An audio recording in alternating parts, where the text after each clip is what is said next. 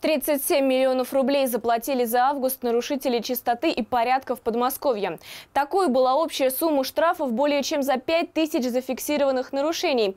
Об этом сообщает портал «Ряма в Люберцах», ссылаясь на пресс-службу Госадомтехнадзора.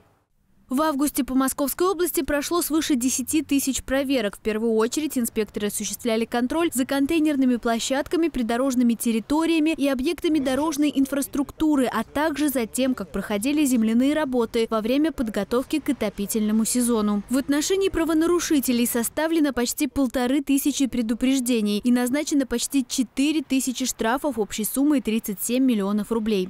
По выданным предписаниям удалось привести в порядок примерно тысячу дворов, 500 улиц и площадей, а также территории вдоль автомобильных дорог. Яна Яковлева, телеканал ЛРТ.